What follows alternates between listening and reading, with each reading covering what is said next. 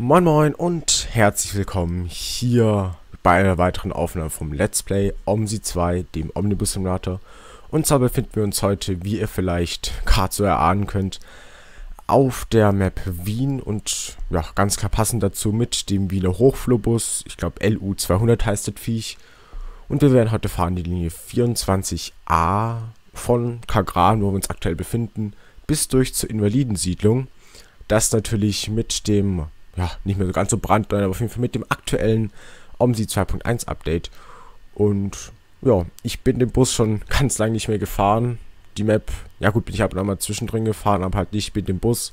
Das heißt, ich muss ein bisschen schauen, wie das denn hier noch so alles funktioniert. Aber ja, schauen wir mal, wie es so geht. Und da ich natürlich professionell bin, habe ich sowas natürlich nicht vorbereitet. Einfach mal schauen, wie es denn so geht. Also Motor gestartet kriege ich, glaube ich, gerade noch so. Boah, es funktioniert unglaublich, gell. Ähm, Fahrplan habe ich natürlich auch schon. Licht im Innenraum hat immer Vorteile. Und jetzt widmen wir uns zuerst mal dem Zielrollband. Vorne haben wir ja eins. Also, vielleicht ein bisschen Standlicht an und dann schauen wir mal auf das Zielrollband, was denn das so sagt. Boah, in der Geschwindigkeit, also, ich habe da aber heute nicht mehr fertig. Und ich glaube, das Ziel, das wir benötigen, ist auch relativ weit hinten, also, naja. Mal schauen. Hallo? Also zumindest können wir oben rechts die tolle wieder U-Bahn begutachten, die da in einer enormen Geschwindigkeit gerade lang rauscht. Warum fangen wir mit der Linie 40a an auf den Linienräubern? Das verstehe ich nicht so ganz. Jetzt kommt die 10. Denn wie wir alle in der Schule gelernt haben, ist es natürlich so, dass die 40 im Zahlenalphabet, nee, so heißt es nicht, auf jeden Fall im arabischen Zahlensystem ja ganz klar vor der 10 kommt. Das haben wir ja alle so gelernt, sogar schon in der Grundschule. Und es ist natürlich die einzig richtige Reihenfolge natürlich auch hier auf dem Zielrollband, weil alles andere wäre totaler Schwachsinn. Ich meine, dass es irgendwie so nach aufsteigenden Zahlen sortiert werden würde. Ach, jetzt kommt die 4. Ach, ja klar, das muss so. Rotundenbrücke, aha. Nein, müssen wir nicht hin. Vorausgesetzt, wir müssen heute überhaupt noch irgendwo hin wenn wir nicht irgendwie viel zu spät sind. 23a ist schon mal nicht schlecht, dann müsste genau gleich 24a kommen. Ich würde sagen, wir belassen es hier mal bei Kagran, denn damit uns die Leute nicht gleich den Bus stören, weil ich muss ja noch ein bisschen mit der Türsteuerung noch ein bisschen vertraut machen, weil, wie gesagt, den Bus, den habe ich schon lange nicht mehr in Betrieb gehabt. Wir treten erstmal alle Pedale durch. Und ansonsten, denke ich, haben wir alles gedacht. Ne, die Ansagen noch. Also die Ansagen bedienen wir hier über unser tolles Ansagensteuergerät. Und das Tolle an dem Gerät ist ja, dass es quasi die Ansagen immer komplett durchspult. Das heißt, es ist nicht so, äh, wie man es normal ist. Ihr kennt so routenbasiert. Das heißt, dass es, je nachdem welche Route man eingestellt hat, nur bis zu einem bestimmten Endpunkt geht. Oder dass es ein, einige Haltestellen auslässt, die man halt nicht anfährt. Aber das Teil ist so gestellt, dass es irgendwie immer alles abspielt. Das heißt, ich habe mir in weißer Voraussicht auf dem äh, linken Bildschirm von mir ja, die Ansagenliste, die dabei war, eingeblendet. Das heißt, ich kann auch immer gleich sehen, welche Ansagen ich ganz schnell wegdrücken und überspringen muss, damit die Leute nicht verwirrt werden. Also, ich denke, dank der professionellen Vorbereitung dürfte das kein Problem sein. Der Fahrplan müsste hier auch irgendwo hängen. Ah, hier. 7.42 Uhr geht's los. Wir fahren bis 18.10 Uhr. Und wie ich sehe, fahren wir über Nebenfahrbahn und über den Algenweg. Das heißt, das sind eigentlich, glaube ich, so ziemlich alle Schlenker, die wir machen können. Bis auf den Schlenker bei der Schule, den fahren wir nicht. Also das ist nur eine Endhaltestelle. Das heißt, es dürfte hier soweit der ja, größte Schlenker sein, die wir machen können. Natürlich auch passend hier zur Hauptverkehrszeit. Ich habe irgendwie eingestellt, es ist montags morgens um kurz vor 8. Das heißt, schauen wir auch mal, wie es staumäßig aussieht. Damit ja nicht zu viel zu spät kommen. Ziehen wir auch gleich mal vor. Würde ich behaupten. Oh, jetzt blendet die Sonne natürlich gleich. So.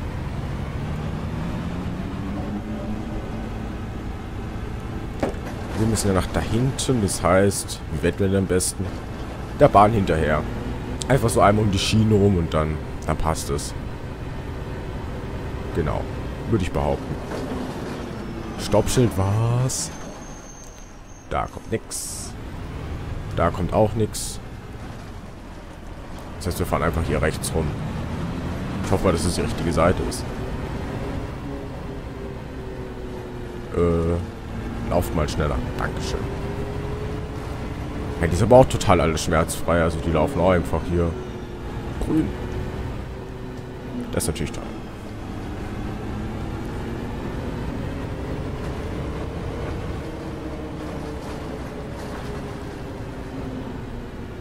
Dann sind wir auch schon gleich da.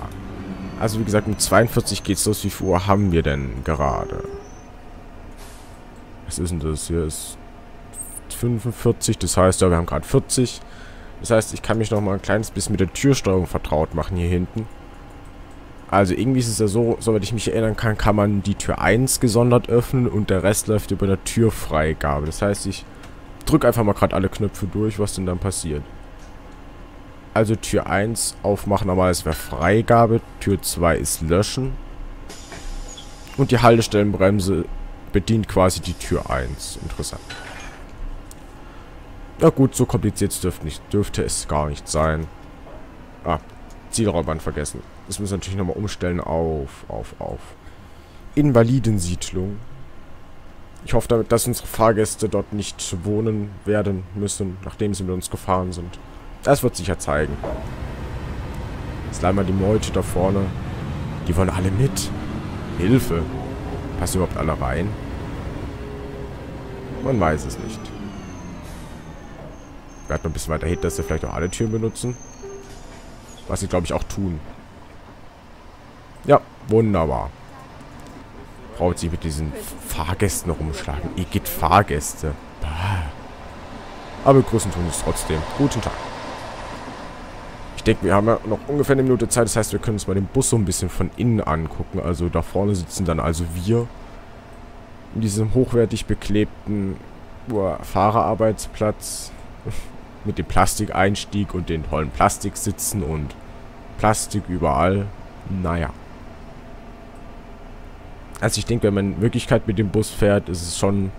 Zumindest sieht er so aus, als würde das scheppern wie das letzte Teil. So wie ein... Ja, wie die Busse von MAN, die ja auch schon zwei Monate nach Auslieferung irgendwie scheppern wie ein zehn Jahre alter Mercedes.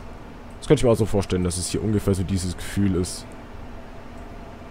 Aber schön gemacht ist auf jeden Fall. Also, ich glaube, das Vorbild, naja, ist mir persönlich nicht so sympathisch, aber der Bus hat doch schon was. Jetzt haben wir, ja, ich denke, das dürfte ungefähr 42 sein. Das heißt, wir löschen die Freigabe. Und ab dafür. Jetzt können wir auch schon die erste Ansage schalten. Mal gucken, ob es funktioniert. Das müsste Steigenteschgasse sein. Steigenteschgasse. Umsteigen zur Linie 94a. Da wird er wohl recht haben, der Herr. Und ich finde die Ansagen auch echt toll. Also der, der Typ, der ist mir sympathisch. Von Grund auf. Weil ich den wienerischen Akzente sowieso total toll finde. Also generell Akzente finde ich toll und ich kann sowas halt nicht nachmachen. Also wirklich, wenn ich irgendwann mal versuchen sollte, hier im Let's Play irgendeinen Akzent nachzumachen, hört einfach weg. Ich warne euch da jetzt einmal vor und... Weil es hört sich wirklich komplett schäbig an. Ich kann das nicht. Gut, da vorne haben wir also rot. Wie wir sehen, der Kollege steht hier auch noch. Welche Linie ist denn das?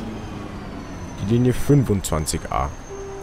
Hat es vorangesagt, dass er darum umsteigen kann? Keine Ahnung. Oder war es 94a? Man weiß es nicht. Nehmen wir mal den Gang raus, da wir keine Haltestellenbremse haben, die wir irgendwie in der Ampel betätigen können, ohne dass gleich die Türfreigaben uns um die Ohren schlägt. Nehmen wir einfach mal den Gang raus. So gegen grün hätte ich aber vielleicht trotzdem nichts einzuwenden. Generell so. Finde ich ganz schön.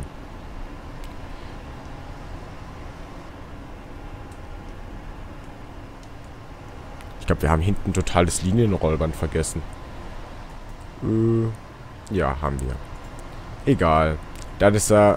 Ich bin sowieso total O307 geschädigt, denn da ist er so, dass man quasi äh, gleichzeitig mit dem Zielrollband auch die Linie einstellt, wie es ja quasi hier auch vorne und an der Seite ist, aber irgendwie hinten möchte das nicht so ganz so. Deswegen muss man das von Hand einstellen, was ich persönlich ein bisschen seltsam finde, aber wir wollen uns ja nicht unnötig Arbeit machen. Und die Fahrgäste kennen sich ja aus im Gegensatz zu uns, deswegen brauchen wir das nicht. Hoffe ich mal.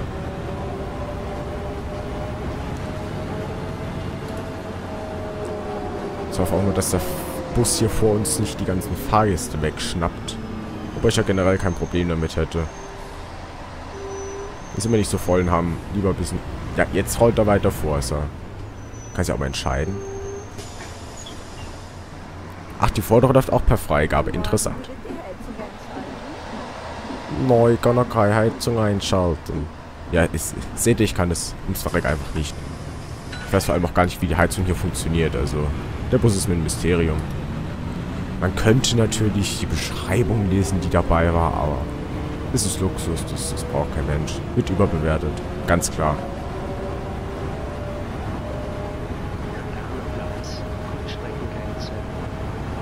Das wird wohl so sein. Und toll finde ich auch, dass hier relativ viel ähm, KI-Verkehr ist. Also wir sehen hier ganz viele Züge, wir sehen ganz viele Busse.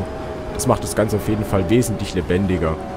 Und ja, gleicht auch quasi das ein bisschen damit aus, dass die Map nicht mehr so ja komplett auf dem neuesten Stand quasi der Bautechnik ist. Also durch, also nur die Map alleine von der Gestaltung her, ja, ob die jetzt unbedingt Paywerk-Qualität hat, ist die Frage. Also gerade durch die eingebauten Gebäude würde ich schon sagen, ja.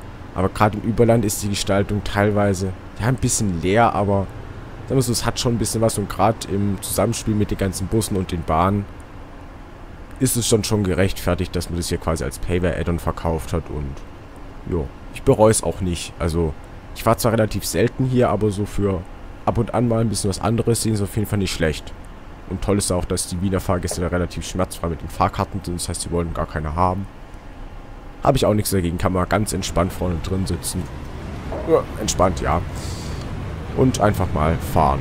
Ohne großartig sich um die Fahrgäste Gedanken machen zu müssen. Toll finde ich auch hier den Tacho in dem Bus. Also, es ist ja so, normalerweise geht ja der Tacho bei Bussen irgendwie bis 100, 120. Der hier geht bis 80. Das heißt, man hat schon viel früher den Eindruck, schnell zu fahren und denkt, auch die Beschleunigung ist hier voller Burner, wobei sie wahrscheinlich nicht anders ist als anderswo, aber ja, ich denke, man bremst auch relativ weich oder halt wesentlich weicher, weil man ist so gewohnt, dass sich die Tachonadel nicht oder halt nur zu einer, bis einer bestimmten Schnelligkeit nach links bewegen sollte und wenn man dann drüber ist, denkt man, ach komm, es bestellen sich die Fahrgäste wieder, bremsen ein bisschen langsamer. Und so bekommt man den Eindruck, als wird man schon relativ früh stark bremsen und deswegen fährt man, denke ich, ein bisschen gediegener hier mit dem Bus. So wird es wohl sein.